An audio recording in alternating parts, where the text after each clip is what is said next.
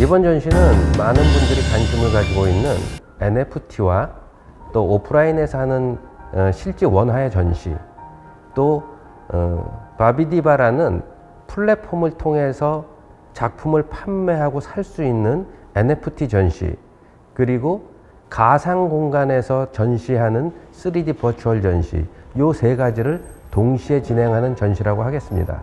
이러한 세 가지를 동시에 하는 전시는 국내에서 최초로 어, 지금 전시가 되고 있는 것입니다. 사실 그 NFT라는 것은 아직 우리나라에서 많이 활성화되어 있지는 않습니다. 어, 지금 여기 참여한 작가들은 16명인데 모두들 중견 작가들이고요. 그 중견 작가들이 새로운 문물에 첫 발을 내딛는 역사적인 순간을 같이 동참하고 싶다라는 의미에서 그 16명의 작가가 아, 이 NFT 전시에 참여하게 되었습니다. 생각보다 NFT에 대한 관심을 갖고 있는 사람들이 굉장히 많다는 걸 이번 전시회 느꼈고요. 그리고 많은 작가분들이 그 일부러 찾아오시기도 하고 그 NFT로 어떻게 작품을 올리느냐 이런 문의가 굉장히 많습니다. 아, 먼저 이 작품을 어떤 식으로 NFT로 거래되는지 한번 보여드리겠습니다. QR코드가 예, 있고요. QR코드를 직접 아, 찍어 보겠습니다.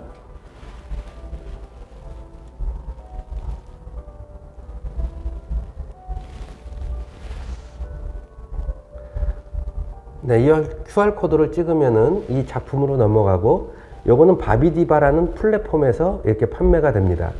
올리면은 가격은 50디바, US 달러로는 41달러.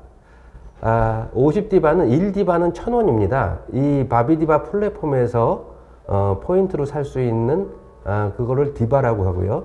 어, 달러는 41달러입니다.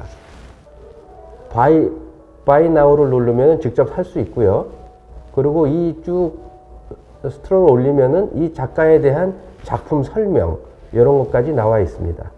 여기에서 바비디바 플랫폼에서 사고 팔 수 있는 그러한 시스템으로 되어 있습니다. 뭐 사실은 이 전시회가 일반 전시회랑 달리 그림을 사고 판다는 목적보다는 NFT를 알리는데 일단 이 목적이 있는데 그 목적에는 충분히 부합된 그런 전시라고 생각을 합니다.